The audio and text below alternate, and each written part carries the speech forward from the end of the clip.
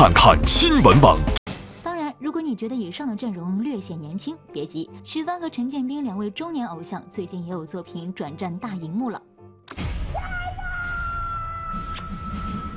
结婚十年后，时隔十二年再演夫妻，徐帆和陈建斌的家中却遭遇了一位初来乍到的奔放十足的野蛮洋妞。出狱的清凉装扮、跪地给陈建斌擦鞋的场面，令徐帆怒火中烧。他们的女儿皮皮更是从小公主变成熊孩子，一个洋妞把家里闹得天翻地覆。我要换人。娘娘您息怒。爸妈。再说的，幸福的家庭都是相似的。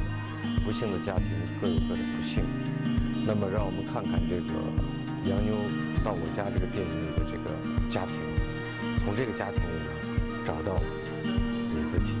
值得一提的是，该片还邀请了孙红雷、郭涛、佟丽娅、范文芳、李明顺等群星客串。